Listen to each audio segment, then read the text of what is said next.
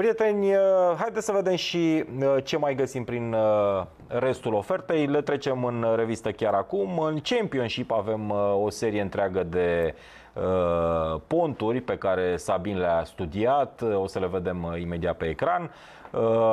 Leeds, Sheffield, iată gazdele cel puțin un, două cartonașe.